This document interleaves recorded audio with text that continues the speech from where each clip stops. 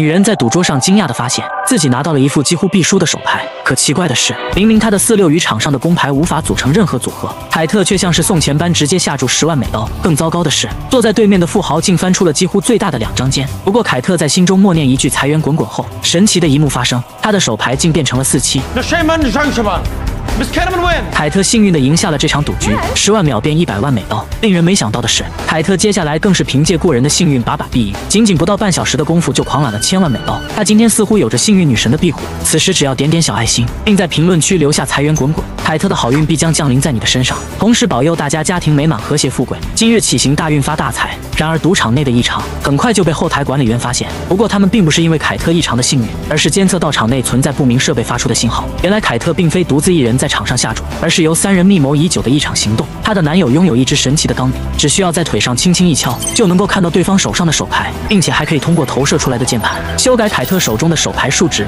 他们本以为这场行动进行的天衣无缝，可没想到就在这时，放哨的同伙看到了几个不好的身影。赌场的管理员竟来到了场内，于是他慌忙地出现在管理员眼前，为同伙拖延撤退的时间。此时的凯特对此还浑然不知，甚至还做出了一个错误的选择。Last hand, we gotta go. All in. No, what?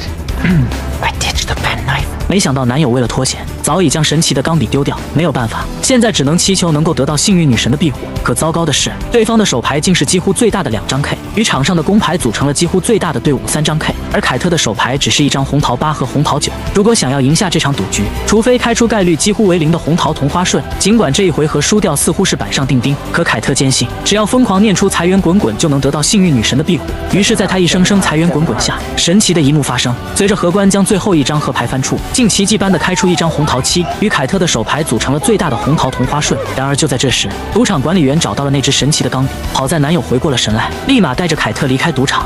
I don't know how I got there. I swear I'm innocent.